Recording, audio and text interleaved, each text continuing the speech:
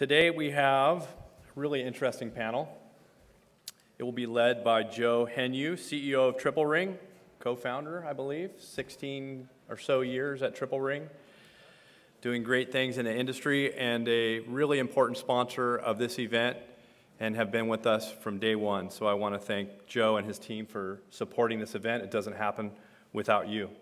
Um, this, the subject today is the Venture Studio, a new model for improving medtech and life science startups. I'm going to let Joe take it from here, and let's please welcome this panel.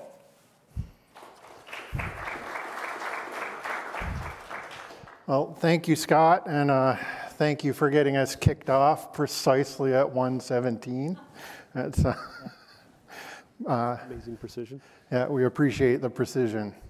So um, the topic of this panel is uh, venture studios and uh, similar models to make uh, startup development more efficient. And that's a topic that's very dear to me at Triple Ring. We're a co-development firm that partners with innovators and entrepreneurs to solve problems, develop new products, and launch new companies. Uh, importantly, we try to do that very much in a partnership model where we're sharing some risk and reward. And a big part of that is uh, trying to make sure that the process is efficient.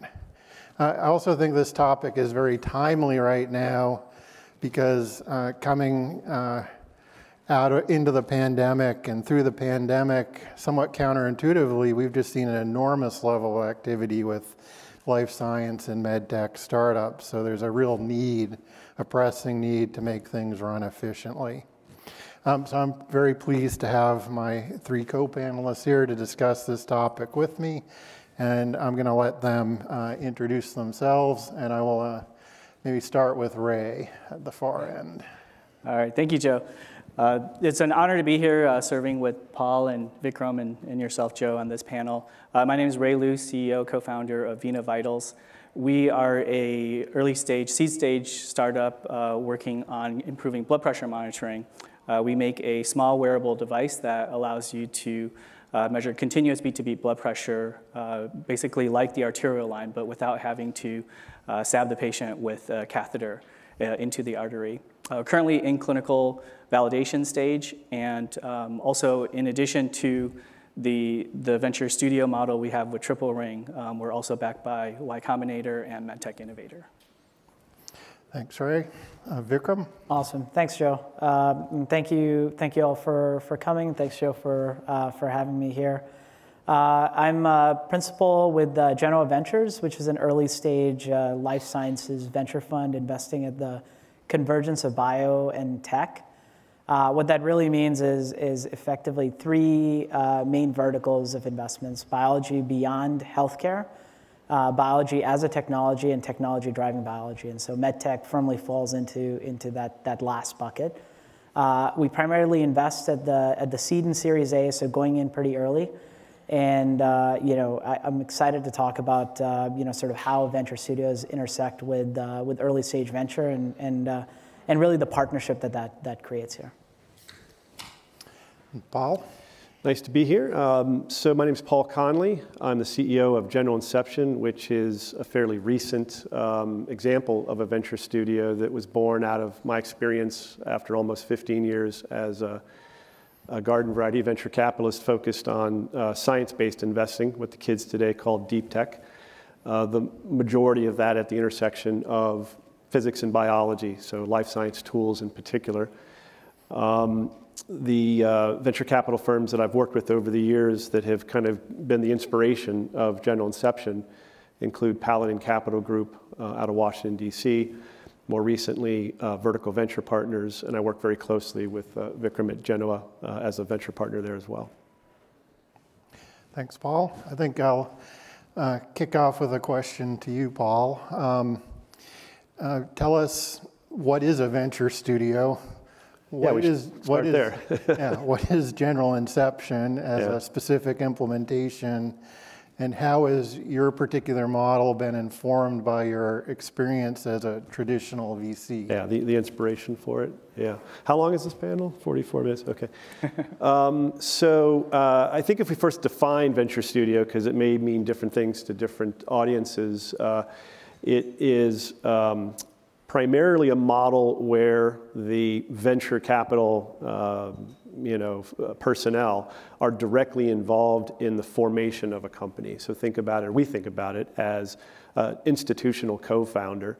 Um, the vocabulary, uh, I think, comes from the way that movies are made, hence the, the studio part of Venture Studio, where each movie is, an, is a sort of an episode unto itself where the right group of, of guilds or trades people get together to work on a project uh, and then they may end up reconfiguring on the next project and be sort of working with different groups of people uh, where the groups are very unique to the particular movie being made. So if you sort of translate some of that mental imagery to the early stage venture capital model, you get something venture studio like. Um, it may be instructive to differentiate it from, from many, not all, incubators and accelerators uh, that tend to have some of the ingredients that you would find in a venture studio, at least our venture studio. And they might include infrastructure, space, access to equipment, um, access to EIRs or mentors, which usually are folks who come out of the commercial side of technology, um, and, uh, and sometimes a little bit of starter capital. And so at general inception, uh, what we're doing includes all of those ingredients that you would hope to find in a great incubator accelerator, uh, or even some venture studios that existed before we started late, uh, early last year. Um, one of the essential ingredients that we think uh, sets general inception apart is in addition to being able to act as a professional co-founder or the business co-founder to great scientific founders, who haven't yet found the right business co-founder, we can also bring the proto management team for the first 12 to 18 months where you can multiplex in uh, deep commercial talent across product, market, even sort of initial sales process. Um, but then also through partnering with a network of um, product development uh, groups, most especially Triple Ring Technologies, we're able to bring the translational resources together at inception. So all, all the ingredients. Uh, starter capital, say three to $500,000 in that range. Uh, the proto management team and the, the translational science and engineering team to take something from the bench and get it into the clinic or, or into customers' hands. Um, the inspiration for General Inception comes from the earliest days of my career as a VC going back to the, uh, the last decade, call it 15 years ago. And in the early stages, um, I had enough bandwidth uh, that operational leverage in my venture capital firm wasn't the limiter in terms of how deeply involved I could get with, with uh, entrepreneurs, uh, scientific founders. And I had a very formative experience for one of the early investments I made was in a company that didn't exist. We had to create it. We found some science out of Lawrence Livermore National Labs. Uh, we found some scientists that we had deep conviction, personal resonance, philosophical alignment.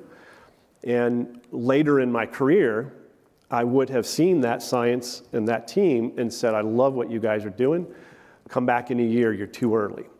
And as my venture capital career evolved and developed a bigger and bigger portfolio, the amount of operating leverage that I had as a kind of a typical VC uh, became the limiting condition in being able to work with great science, great scientific founders to build great companies. That formative experience that I just described, where we pulled a team into technology out of Lawrence Livermore Labs, uh, was a company called Quantalife, and they had invented droplet digital PCR.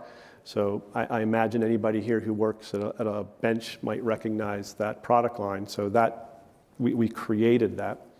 That founding team, by virtue of us being able to help them form Quantalife and be um, useful to them from the beginning to the end, is why when they started their next company, a little company called 10x Genomics, uh, we got the first call and were able to go to a garage in Pleasanton for the birth of 10x Genomics. So this model we think is, is a, right way to do it. And so General Inception is kind of about cr- recreating that magic uh, that we had with Quantalife and being able to be uh, effectively an institutional co-founder. And we'll get into more of that detail maybe elsewhere in the panel. Okay. Maybe Vikram, you're working at Genoa, you're a little downstream from where Paul starts. Um, has the way Genoa works evolved over the years to be more hands-on? And how are how is a group like Genoa working with other venture studios? And what are some of the interesting models out there that you've seen? Yeah, thanks, Joe. Um, yeah, I mean, uh, I'll echo some of the, the commentary that, that Paul gave, which is, and, and just add one, uh, one more thing to that, which is it's not just about uh, being able to have the bandwidth to roll your sleeves up and work with one or two founders, but it's, it's that you see a multitude of great scientific founders who you can't service possibly. You'll, and it's, it's almost like the first two that come through the door are the ones that you can work with in any given year, and you just can't work with everybody. And the ability to be able to have a partner upstream that can um, almost mold and curate, uh, you know, it, it's kind of like going from uh, kindergarten all the way to, you know, sort of getting into the early stages of, uh, you know, you're going in, in towards middle school. And then the early stage venture sort of picking you up at middle school and, and really teaching you more things and helping you grow up uh, as you go through further. That, that's sort of the kind of how we look at that relationship. And, and you know, companies are really, that, that's what it is, right? They're forged, you have to birth them. And so having an upstream partner like a venture studio that can do that is great. Uh, we've typically worked with a lot of incubators and accelerators historically uh, at Genoa. We spent, spent uh, some time there, but there's always uh, an element missing, and you always have to end up, you know, trying to find and, and match them with, uh, with partners to actually do their productization work. Or find, you know, it takes a village to build a company, so you have to find all of the different resources, whether it's uh, regulatory resources, commercialization resources, and everything else all the way through. And that, that's where uh, a missing element of what we found the venture studio model actually solves that. There's a few of them out there. Uh, in the therapeutic space, um, this model's been, been around for a little bit. Third Rock Ventures and Flagship uh, Pioneering both, both have done great work uh, in, in therapeutics uh, along there, but the quanta of capital required is, is quite significant. Plus, it's not as, as chimeric, right? You don't have to go through a commercialization journey. You don't have to have that mindset on there. Uh, in the pure tech space, things like Techstar have existed for, for some time as well that have done this. But the intersectional space of biology and technology, there, there's only been sort of some amount of work that's happened recently. Uh, there's another studio that's come up more, uh, a lot earlier that is, that is Initiate Studios, which is uh, doing a little bit of work in the medtech space primarily, also thinking about, uh, uh, about the uh, overall intersection of digital health and, and how, how that would work. But um, General Inception for us as a partner has been uh, unique, not just uh, obviously a big part of it is because of Paul, but uh, you know a large part of it also is the, the concept of the model, just adding in and stitching together all the resources that exist in, in the ecosystem, but putting them under one umbrella. Uh, it, and, and so you're sort of getting a just-in-time build.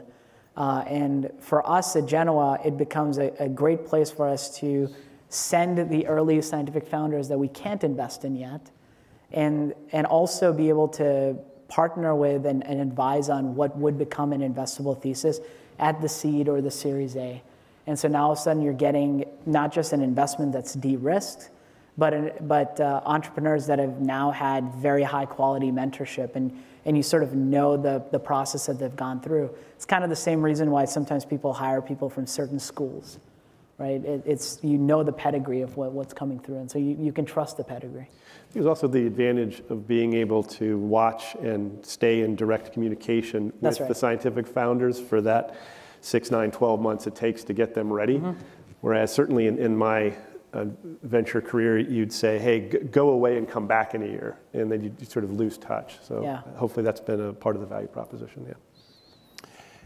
Ray, you, um, uh, you were involved in um, starting your company and spinning technology out of a university. And I know you've made the strategic decision to work extensively with partners. Um, what made you decide to, to partner versus going it alone and trying to build everything from scratch? And, and how do you see some of the trade-offs? Yeah, it's, it's a very good question. Uh, for us, you know, being an early stage startup, there's just um, limitless number of um, things that you have to do to build your company, to be able to develop out your technology. And our instantiation of the venture studio model is with Triple Ring as a technology partner, where um, we, we really saw three key benefits. And I, I, would say the first is probably the most important is really just being able to have um, skin in the game and where, you know, for, for us to know that uh, for Triple Ring, you're fully committed, you're fully vested, and uh, you know, for us to develop the technology, we're going to uh, come across numerous challenges and numerous de-risking of the technology that's necessary to get this product out. But uh, for you to be 100% committed and then um, know that, hey, you, you actually don't get paid until we are successful. And, you know, that just, that skin in the game was very instrumental for us to be able to um, look at how we approach the re relationship and then be able to leverage that relationship. Um, and, and, the second and third that also um, extend from that is really the, the, second benefit is just the credibility because, and we leaned on this quite a lot because the credibility that you can say, uh, hey, you know, we have this uh, engineering firm who looked at our technology, evaluated it, and they know they can build it. Um, that goes a long way, uh, especially, you know, last year when we were going through uh, YC and MedTech Innovator and talking to hundreds of investors. It, we really leaned that, on that quite a lot, and it, it made a big difference in terms of our uh, ability to fundraise. Uh, and, and, the last is, is just this expansion of your talent pool, because as a startup, you have different functions that you need to be able to develop, especially in the medtech space, uh, whether it's signal processing, your uh, electronics, your uh, firmware, all of these different aspects where you may, might not need a full full-time resource, uh, and even going through that hiring process takes a long time. I mean, we might spend six months just to find a really good signal processing guide that you know that we're really happy with. And so, um, being able to work in this model with Triple Ring allows us to be able to leverage this um, vast experience talent network that allows us to spin up different resources for different types of projects. So I think in terms of the, you know, the, how we select the type of projects, we, you know, that, that process is basically we sit down, look at, okay, these are all the different need areas that we have. We can do these internally. Uh, these are the ones where we have gaps. And then we have this very collaborative dis discussion with our partner to be able to see, hey, where, where are you good at? Where do you think you can really help us de-risk? Where do we need to do it ourselves? And it becomes a very collaborative uh, approach. You know. Maybe my next question, I'll, I'll follow up and put this both to you, Ray, and Paul. What, what do you say to an entrepreneur who's embarking on starting a company from scratch, really wants to dig in and run it and lead it, who's afraid to partner in a, in a deep way with a venture capital firm um, because they don't want to lose control? What, what are the pluses and minuses? What's the best way for that entrepreneur to approach such a relationship? Want to jump in? Uh, sure. I, I, you know, from a startup perspective, it, it's really hard because I, I, think most entrepreneurs, and, you know, and, and we're early stage, we're a seed stage. A lot of uh, the audience here is even much further along than we are. But I would say that, you know, we all recognize that we can't do it alone. We all recognize that, hey, we're going to need help. But picking who's the, who, where are you going to be most efficient in getting that support and that help? I think that's the, the hardest part. And I think there it's just being able to weigh in, like, where are the biggest risk areas that you can de-risk? And, and that's what I really like about the model is just that, you know, back to the skin in the game, because you know that they're, you know, they're dependent on your success for them to succeed. And so that, um, you know, hands down, anytime we have a skin in the game type of situation, we would prefer that over other models in terms of partnering. Yeah, I would say um, that whenever we're meeting a founder, particularly scientific founder, I'm almost always backing first-time founders, certainly maybe founders who are maybe the CEO for the first time. So you're always trying to figure out in those first moments how to build trust.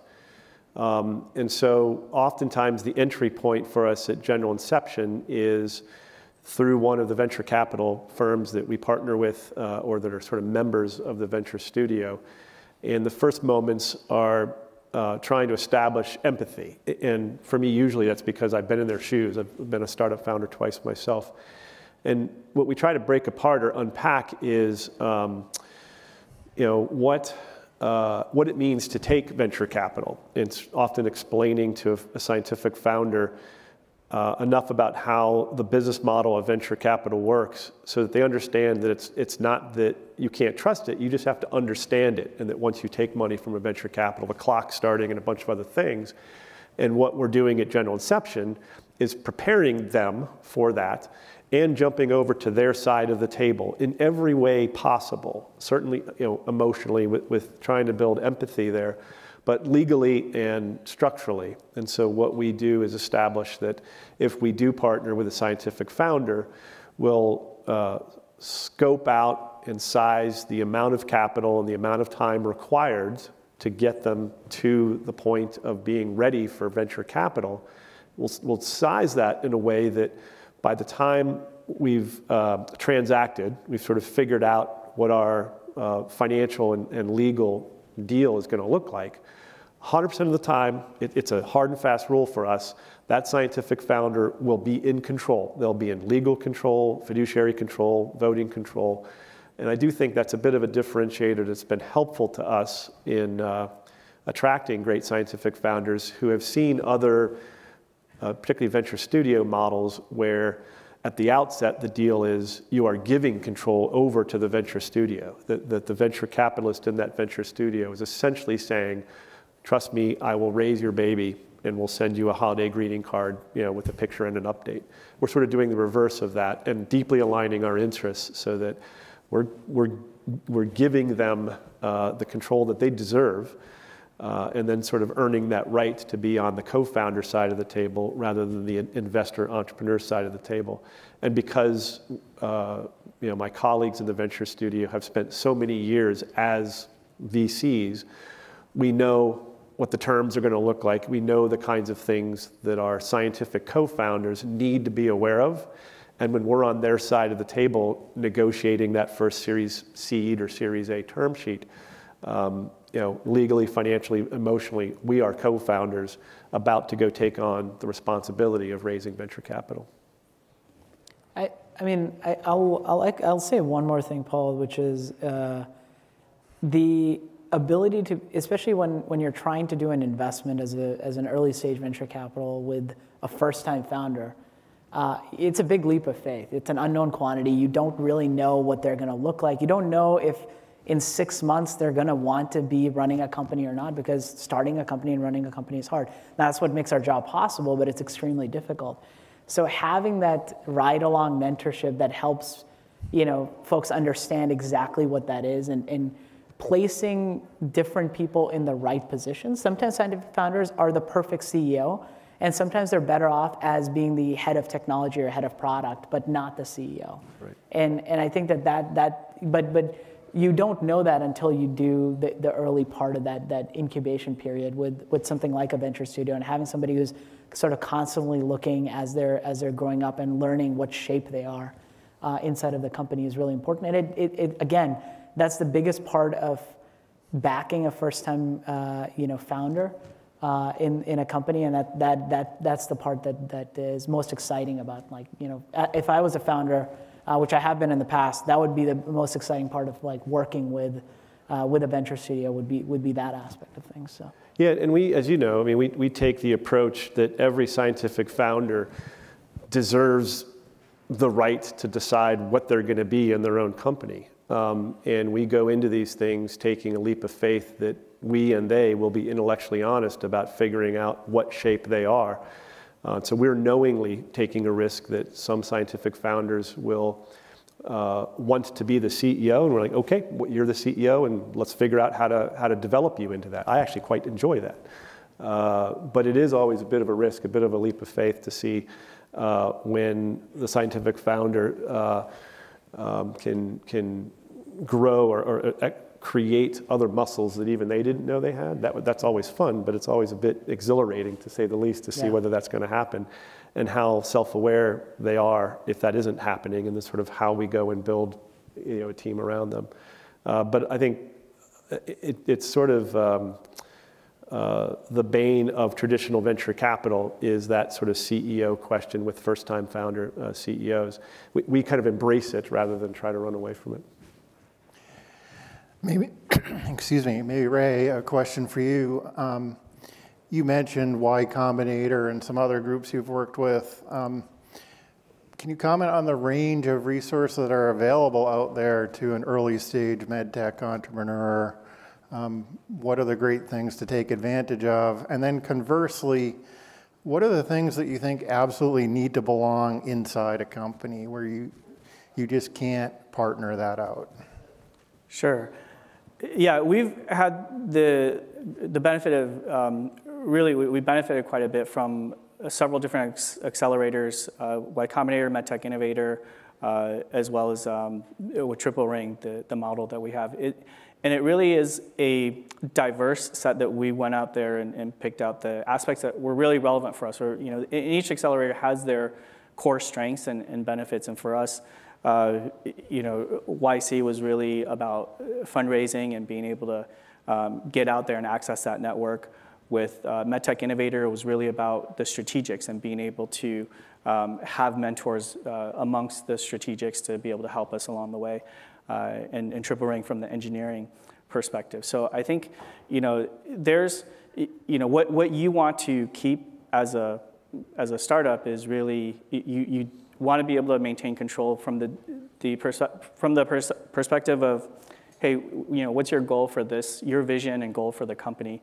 And I don't think anybody's there to try to take it away from you. So um, you, you want to be able to convey that so that you can find the partners who also believe in that vision and are willing to partner with you along the way in that vision. And I think you know, there's every startup is so different, right? You know, you, you have such unique situations with each one, and it could be one that you know, hey, the CEO wants to focus on building their their technology, and they don't want to do all the other things, and um, and vice versa. You know, they come in all shapes and sizes. So I think it's very much a unique, uh, you know, case by case evaluation of what you want to keep internal versus what you want to partner. Because at, at the end of the day, ultimately, you, everyone, every, everyone at the table is trying to align towards the same goals. As long as you can ensure that you're aligned towards that, then um, you know how you set it up, what's internal, what's external. Uh, I, I, would say doesn't actually matter too much as long as you're achieving your goals.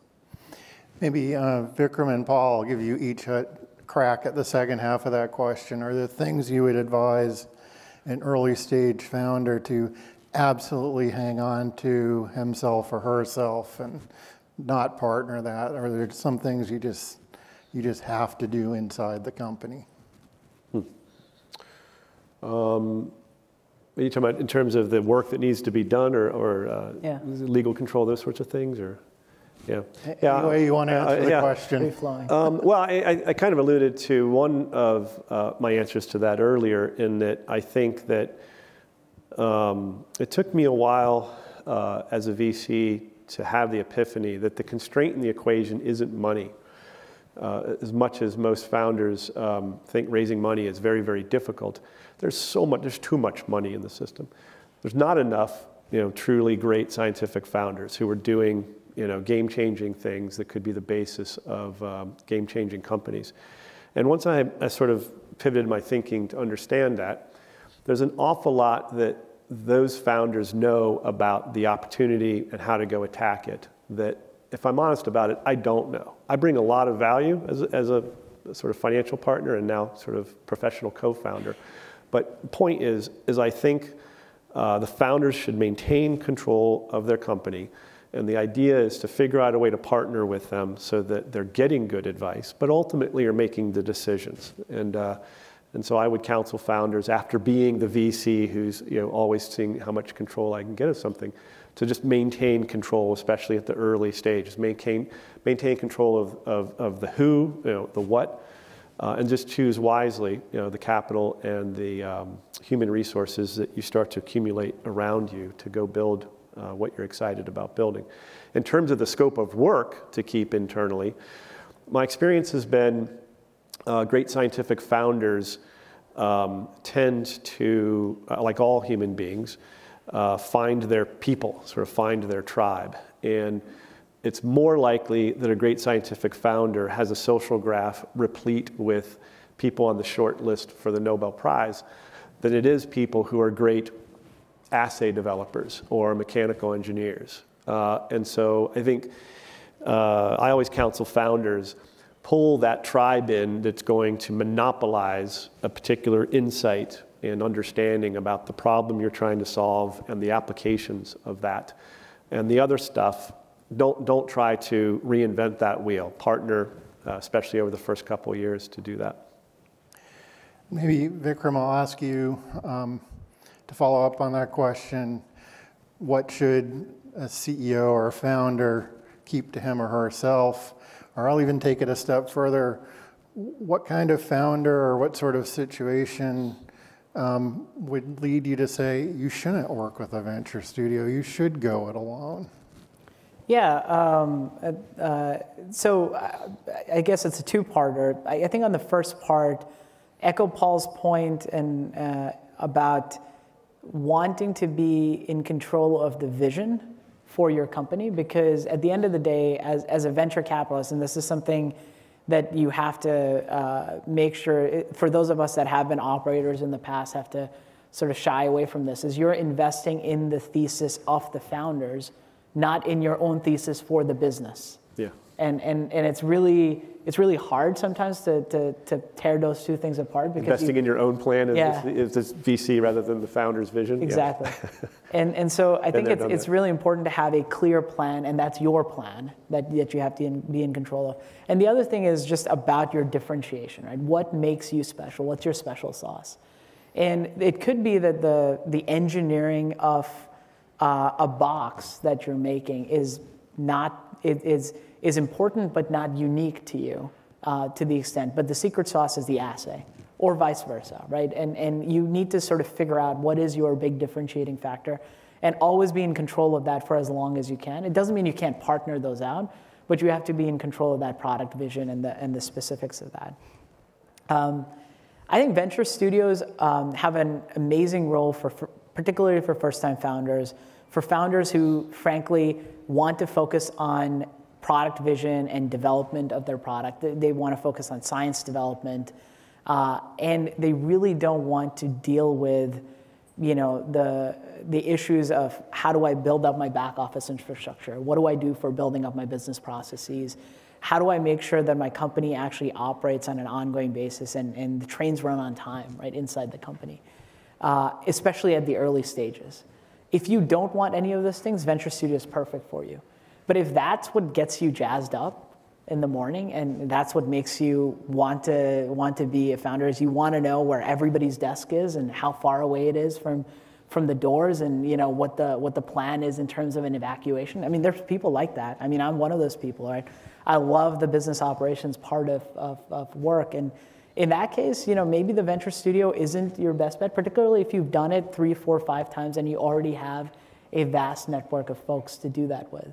And that's not to say that a serial entrepreneur shouldn't ever partner with it, but it's a personal decision to be made of the value proposition that the venture studio is giving you and allows for you to not have to deal with.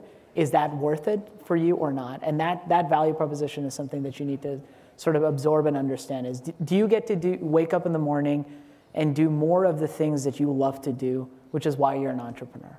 If the answer is yes and the venture studio enables that, absolutely do it. If the answer is no, don't do it, right? Because it's about happiness. Yeah, and, just to add to that, I, I think you know some startups will fit very well in that type of model where they want to outsource the the non-technical uh, aspects. But for, for other startups, it's not to say that other startups, the ventures model, venture studio model might not work well. For, for us, for example, it is really about the being able to outsource some of the engineering aspects where we, and to your point, Vikram, we definitely don't want to give uh, the sensor work out to a, a third party just because you know, that's our core technology, that's our IP. We, and regardless, we need to develop that ourselves. So whether, um, you know, that, that expertise needs to be developed in-house and we need to train ourselves on that and, and become really proficient at that. But some of the other, you know, the box that you mentioned, um, that box can be done externally a lot more efficiently than it can internally. And so that would be a perfect candidate for us to be able to say, hey, this electronics module, we don't necessarily need to have this be, uh, you know, do, learn our own miniaturization of this module and, and own all of that. There's plenty of partners to be able to work with. So, um, so, so yeah, I, I think in our scenario, definitely picking out those aspects where they're still mission critical, they're going to be on your critical path as well, but you they're, they're not part of your core, uh, you know, proprietary. You're, I guess, you, the core of who you want to be as a startup and, and uh, you know what you want to own. I think those are the aspects that are really good candidates to look for partners for efficiency. That seems to be an opening to, to maybe ask you a question, Joe, if I may be so bold. uh, how has Triple Ring uh, evolved its model of working with particularly really early stage startups? Because I know Triple Ring has a, a wide range of clients, some mature, some you know literally formation stage. And what have you found around sort of how out, outsourcing has worked for you guys? Yeah, um, thanks for turning a question around. Uh, I thought I was escaping in this panel, but uh, I'm here for you. We, we've done two things. Uh, When we work with early stage companies, we think two things are really important. One is make sure that they can maintain the core expertise internally. That's their secret sauce. And I, I think you guys already addressed that. Um, the other thing we've done with our model is move from just a fee for service, uh, pay as you go model to a skin in the game model where we really try hard to align risk and reward. And um, I'm saying this not as a sales pitch for us, but just as an advice to anyone in the audience who's going to work with a, a third party development firm. I, I think um, the key to a successful project is share that risk and award and align incentives. And um, that means having your development partner take some risk, but it also means making sure they don't take too much risk. I, I think a lot of people approach the fee for service model and think they're paying to transfer the risk to the development partner, and, and that just doesn't work. So we, we've tried to find business models that really align incentives. Well, the experience that I know the general inception companies have had who have um, been lucky enough to work with Triple Ring is that this vocabulary of co-development comes up a lot, like outsourcing very different. Co-development, there's this sort of notion that uh, the, the client, in this case maybe a general inception portfolio company, should and needs to develop a certain amount of its own in-house capability, and the goal is for that to mature alongside Triple Ring. And, and for the venture studio model, the goal is to get them to where they have their own teams, not, not to Yeah. not have their own teams, but to, to, to get there in a healthy way. Yeah, we actually like to see our client companies add their own people as Right. they grow, add people as they need them. And, you know, one of our uh, value adds is sometimes helping them recruit their own team. Yeah, yeah, that's Maybe I can switch gears here a little bit. I know a lot of people in the audience are out uh, trying to raise seed, Series A, Series B. Um, I know that one of the benefits of a venture studio is helping the companies raise follow-on money. Are there some, can you talk about how you help, some secrets you can share? Um, one of the things that's really, really struck me was I know, um, Paul, you tee up deals with venture capitalists um, way in advance Yeah. when you're planning to do a round. And I was in the panel discussion just before lunch when some of the folks talking about corporate M&A and partnering said they like to see things early. So maybe talk about how you tee up a deal with a venture group, and is it ever too early to go? And how, yeah. what's uh, your advice to the folks raising rounds of capital out here? Well, I mean, one of the advantages you should get from a venture studio model if you partner with a venture studio is early and direct access to the customer, which is downstream venture capital firms. And so, as I mentioned in describing my inspiration for General Inception was to solve my own problem as a, as a VC. And uh, not surprisingly, a lot of the syndicate partners that I would co invest with in first rounds have the same problem, including Genoa. and so, uh, in some sense, we've created General Inception to solve that problem for an ecosystem of VCs who are naturally syndicating deal flow and syndicating investments and you know, building companies uh, together. And so that's um, created a nice you know, balanced equation where whenever we do uh, form a company with a scientific founder, we're doing that sort of in concert with this group of VCs that we work with uh, frequently, and that group is constantly growing as uh, more in our network find out about what we're doing. So informally, we are always exposing the companies, at least what they're doing, to the VCs, and we're getting some market check from those VCs that are part of our uh, our ecosystem around hey, if we spent nine months, 12 months checking these boxes, is this likely to fit with your portfolio thesis and an area that you're keenly interested in? If yes, will you stay in touch? Let these you know, evolving companies come give you an update quarterly until they're ready. And in that way, you're sort of meeting the market rather than sitting in a cave for a year and then hoping that your 12 slide PowerPoint deck hits the mark when you emerge. So we, we've taken that approach of sort of deeply integrating with the ecosystem of VCs rather than simply making an introduction and hope it works out. Uh, Vikram, I know you've um, uh, run a venture studio within a large corporate, and I, I, know there are folks in the audience who are from the corporate side.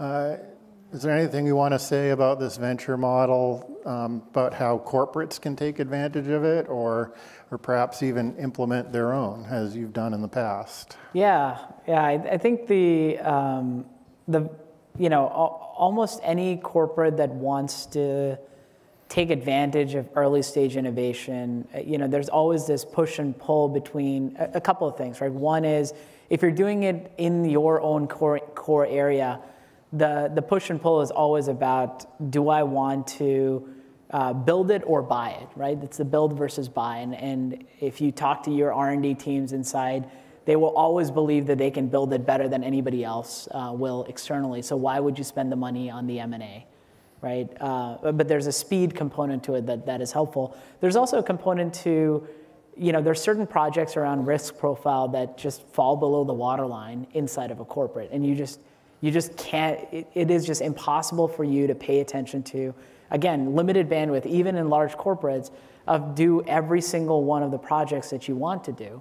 And so the value of having a venture studio external is that you can actually take advantage of spinning out technologies, capabilities that might be might fall below the waterline for your internal bandwidth and, and attention. But if they were to develop and get to a certain point in time, they all of a sudden now fit inside of a roadmap that you're doing. And this could be as much as like small amount of product development, or it could be a, a full-on product line. And sometimes you don't know the answer to that, but, but there's a lot of great innovation that sort of sits inside corporates for that. Having done this, you know, inside of a corporate, and, I, and when I did it, I did it in a non-core area. Um, that was even harder. And for, for those of us that uh, have worked in a corporate and have tried to do innovation not core to your business, you know what I'm talking about is it's exciting until it's not, and then the core inertia of the, of the business decides that this is no longer going to be attention and you're constantly competing against that, those resources. And so if you ever want to explore opportunities that are not exactly core to your business, uh, being able to do it and incubate ideas through a partnership in certain verticals with a venture studio is actually, which is external to you, is actually perfect because that allows you to do the exploration but not have to have a commitment of like hiring people and going through all that process. And and you're sort of you have the freedom of innovation in some ways. Thanks. Um, we have just about five minutes left and i want to give the audience an opportunity to ask questions i think there's a microphone back there I think there's a question up here in the front.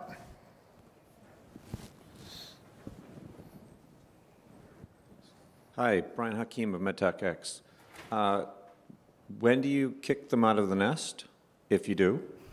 And also, do you, if, is there ever a uh, disagreement between whether one of your companies should take your resource versus go external?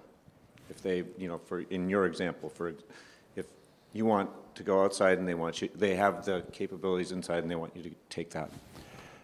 Uh, I, I can cover that real quick. Actually, um, we definitely had those situations. We went external because we felt Triple Ring didn't have the expertise, or we could do it better externally. And this comes back to, hey, well, it's in Triple Ring's best interest as well because rather than slow us down, uh, you know, we could do. And, and they were compete. They were actually there. They had teams that could compete to do this, but we felt somebody else could do it better. Um, and so it's easy for us to make that decision. And I guess it also relates back to the control uh, aspect of it. In, in, the type of relationship you set up, you, you still want the startup nimbleness to be able to make those types of decisions. When do the birds need to fly, Paul? Yeah, yeah well, it tends to be uh, resource limited. Um, we've set ourselves up so that we don't end up you know, competing with the VCs that are in our midst. And so there is a point at which, uh, you know, financially, they need to raise that money from someplace else. So there is no hard limit that says by a certain period of time, you know, we're done. Uh, and we, you know, we pick up the pledge and we have a meaningful equity stake. So we're heavily incentivized to, to get a, a successful financing done at the other end of, you know, phase one of the journey or the end of the beginning, however you want to look at that. Um, and we uh, have a hard limit on a million dollars. Like I said earlier, we typically start with three to five hundred thousand dollars, but things take longer, and so we'll. Uh, our policy is that if more money is needed to cross that first chasm, we will do that investment on uh, convertible notes or something that doesn't change the voting dynamics, which goes back to the question about uh, what if there's a disagreement about what resource to, to use? And I'll say it again it is their company, it is our ethos, and it's what we put in practice. So we have wonderful partners, Triple Ring being a great one. Uh, but it's always the scientific founder's decision. We sort of show them the tools, we tell them what we think, uh, we expose them to all of the other uh, entrepreneurs in the general inception portfolio and everyone that we've ever worked with, and they kind of decide, you know, do I trust the judgment and advice? But it's always advice. We're consiglieres. We're not in the driver's seat, and that's exactly where we want to be. Consiglieres, not in the driver's seat. And it's amazing that with that type of um, approach, uh, I can't think of one bad decision, knock wood, that our scientific founders have made. They're smart. They know what they're doing. I think we have time for maybe one more question. in the back.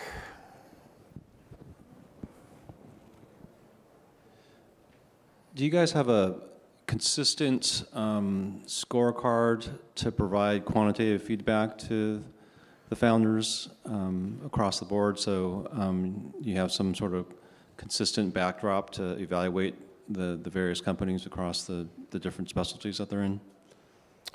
We do not, is the short answer. Uh, I think that's because at the earliest stages, every, one, every scientific founder and every project is so different.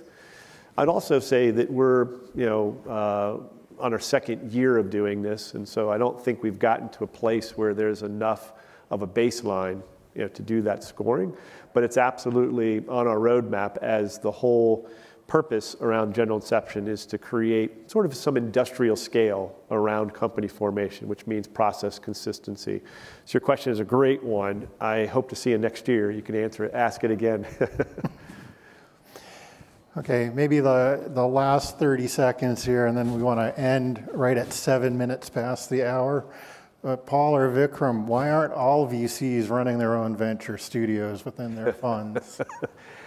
Well, um, it's a little bit like when you buy a car and all of a sudden you see that car on the road constantly. I feel like uh, in the last uh, couple of years, uh, the number of our colleagues that are doing a venture studio model of some form or fashion is growing geometrically. And I think more VCs like us have come to the conclusion that if you're going to be an early stage investor, uh, doing that safe note, whatever, is not the way to do it. Get involved and, uh, and be part of Inception. And so uh, I think we're going to see a lot more of it. Okay. Well, I want to thank all of you for coming down, coming to our conference in person. I I want to thank LSI for the uh, opportunity to be on this panel and put it together and for the excellent work they do in putting this conference together. And I want to thank you all for your attention. Thank you.